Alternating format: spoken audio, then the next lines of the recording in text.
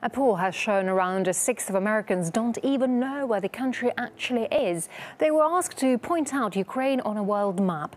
The most accurate responses are marked red here.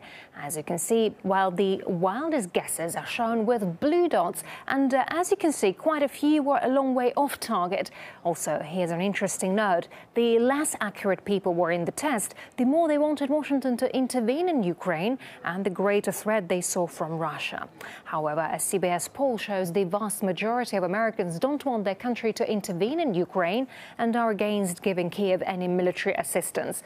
But uh, talk of U.S. sanctions against Russia is still in the air, despite predictions by experts that they will only backfire.